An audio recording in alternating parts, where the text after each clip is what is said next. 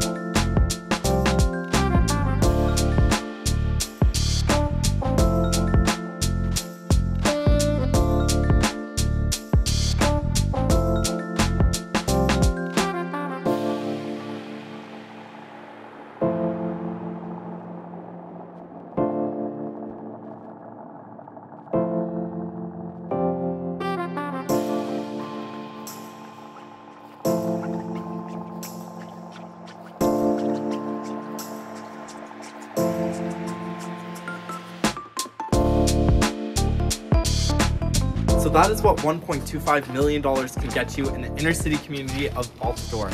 Now let me know which community or which type of home you want to see next.